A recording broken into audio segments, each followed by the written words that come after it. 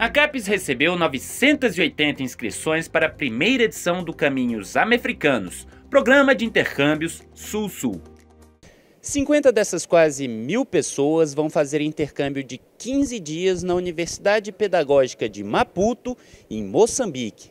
A seleção é voltada para quilombolas e pessoas autodeclaradas pretas ou pardas.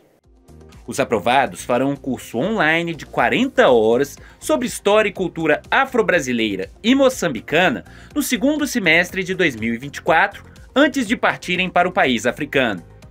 O programa é executado numa parceria entre a CAPES, a Secretaria de Educação Continuada, Alfabetização de Jovens e Adultos, Diversidade e Inclusão do Ministério da Educação e o Ministério da Igualdade Racial. A ação incentiva o combate ao racismo e a educação das relações étnico-raciais. O Ministério da Igualdade Racial vai investir 1 milhão e 800 mil reais.